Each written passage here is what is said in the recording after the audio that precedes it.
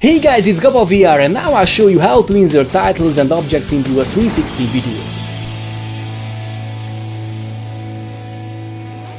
When it comes to post-production, we've got endless possibilities whether to use more graphics, titles or whatever. Just like in traditional videos, this can be very important. But working with the 360 footage, we realize that putting a title or an image on the top of the videos is not enough. We have to insert it into the virtual space. There are several methods to get a great result, but now I will show you my way, which may be one of the most simple and fastest ways. A couple of years before I used After Effects and a complicated workflow to create 3D titles, but now I only use Photoshop and Premiere. As an example I will show you how I created those scoreboards in my latest video blog episode. Check out the whole 360 video clicking on the right top corner. After the latest updates, Premiere 2018 has some great VR plugins, and they do an amazing job, but instead of creating titles and objects in Premiere, I prefer creating them in Photoshop.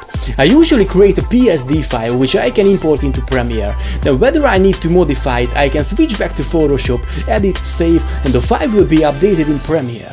And I can create much better titles and graphics this way. Another advantage of this workflow is that you only have one single object on your timeline, while you can create many layers, masks and whatever in Photoshop. Of course it's possible to create nested sequences in Premiere, but combining images, text and graphic elements is much easier in Photoshop, but this is only my opinion. First, here you can see the base of the scoreboard. Editing it in Photoshop, I can do almost anything I want. I add names on it, I can add numbers, and of course I can add my logo too. And I've chosen a special font, which fits the whole digital scoreboard style very well. The main concept is that the scores are changing during the video, so I will need several numbers and combinations. So this time I create a complex PS file, but finally I will export transparent PNG images to keep the project clear and well organized. First I create the scoreboard, which I will put in front of the viewers. As you can see, Edina is on the right and I'm standing on the left. So on the scoreboard you will see the names in the same way. Then I start creating multiply layers with the scores. Switching between the different layers, I can create all the combinations I have during the game.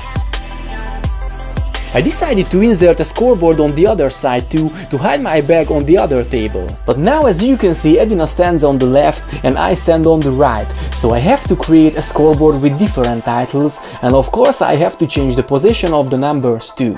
It's very easy, I just create folders and duplicate them.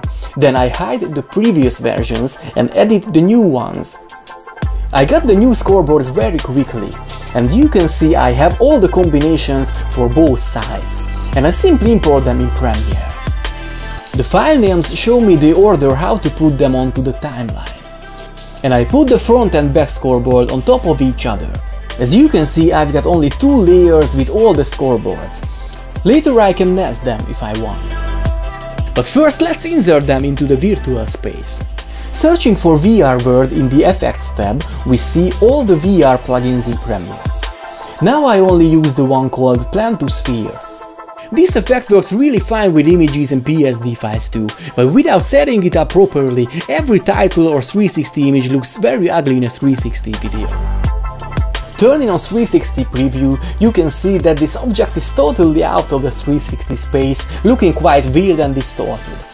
My goal is to create something like this, a scoreboard which looks like a real object in this virtual space. As I turn it on, you can see that my object is already in the virtual space. Of course, in the flat view, now it looks distorted. But switching to 360 preview, you can see it's okay. The only problem is that our image is a little bit big.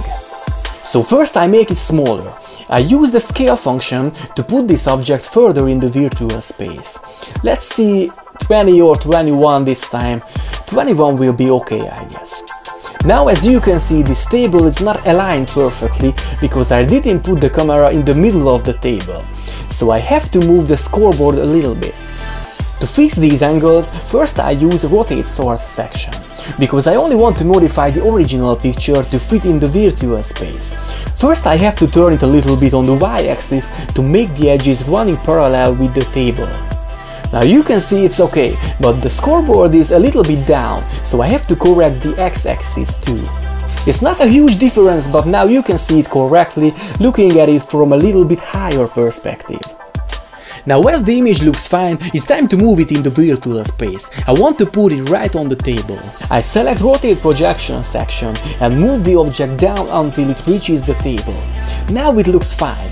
Looking around in the virtual space, the scoreboard looks like a real object. After turning off 360 view, this is how it looks. Putting a scoreboard on the other side is almost the same method. First I apply plane to sphere effect. I'll downscale the image making it the same size like before. Now the image is not on its final place, so this time I put it there first. I go down to the rotate projection section. I know that I have to put it to the opposite side, so I type in 180 degrees. Let's see it. Okay, it's not perfect, so I play around with a little bit. Or maybe I have to rotate the source a little bit, because just like on the other side, the table is not in line with the camera perfectly. Maybe this way.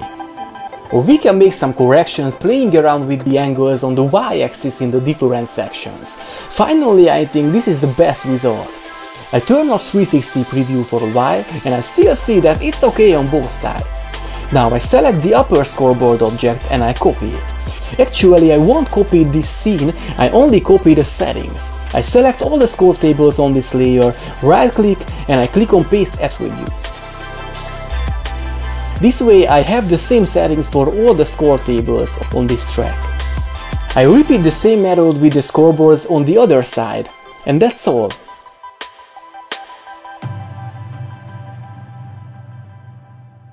Of course you can use this workflow inserting titles, logos and anything you want into your 360 video properly. If you create the graphics in Photoshop, it's such an easy thing to get the final look in Premiere. So I hope you will try this technique and if you like it please thumbs up and subscribe to my YouTube channel. It was Gaba VR, see you soon guys!